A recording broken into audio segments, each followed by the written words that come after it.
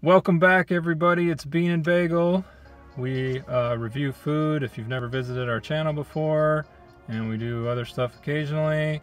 Today, we are at, rumor has it, the only fancy restaurant in Dillon, Texas, Applebee's, doing the Brew Pub waffle fries, and they look amazing. Mm, they do look amazing. Look at that.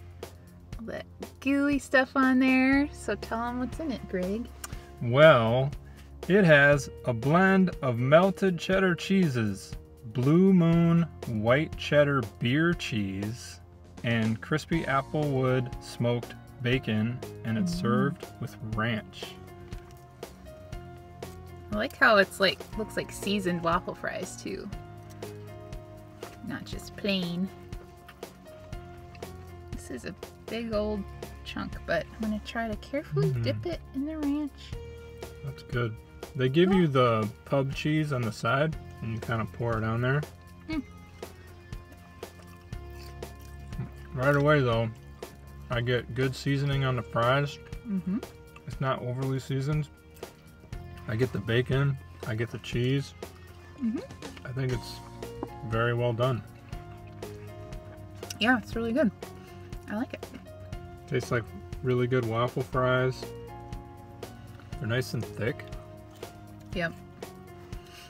They're not like super chewy, but there's a mix of chewy and crispy fry, which is a good uh, thing to have, in my opinion. Mm-hmm. Beer cheese is really good. Ah,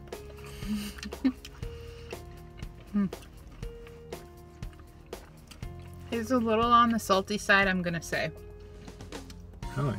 Yeah. When you get everything, like the bacon with the cheese, with the fries, it's a little bit too salty, but it's still very good. I mean, I'm not mad about it, but just the combo of everything. And I dipped it in the ranch too. You didn't, so maybe the ranch was contributing to the saltiness. Yeah. Mm. I don't really need this kind of stuff with ranch. That's just the way I like to eat um, these kind of things.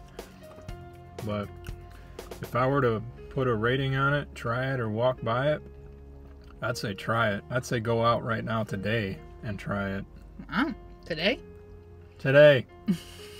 That's a pretty strong endorsement. I think it's really good. I would give it a try it as well. Um, just whenever you get around to going to Applebee's, which you may or may not, but I think it's a good addition. Yeah. So I like it, and the ranch is really good too. It seems like it's like a um, homemade type of ranch. This item is brand new to their menu too, and it's available nationwide.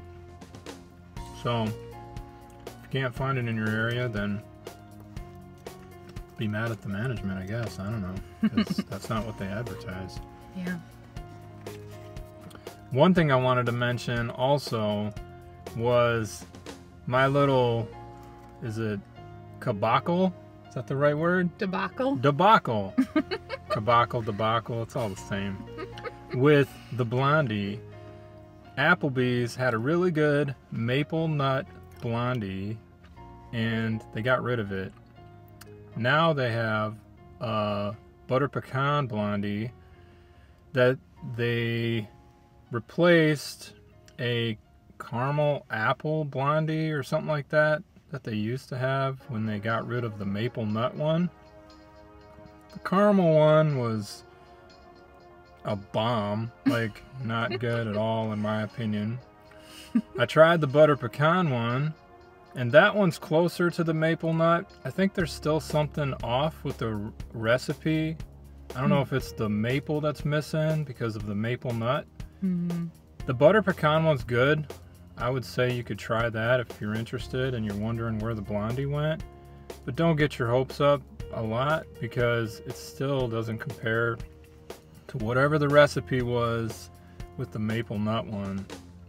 But I just needed to kind of throw that out there because I was a huge fan of the blondie and I was hugely disappointed when they got rid of it.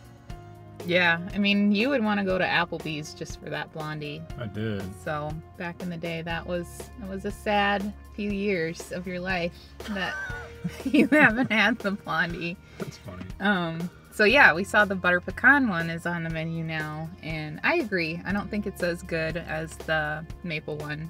So they got to put the maple back in, but They it's do. not bad. So, Mhm. but anyways, Anyway, that's my take on the fries, the blondie. Greg's uh, advice for your life is to go out and get it today. Word. But anyways, thanks for watching, everybody, and we'll see you in the next one. Bye. See ya.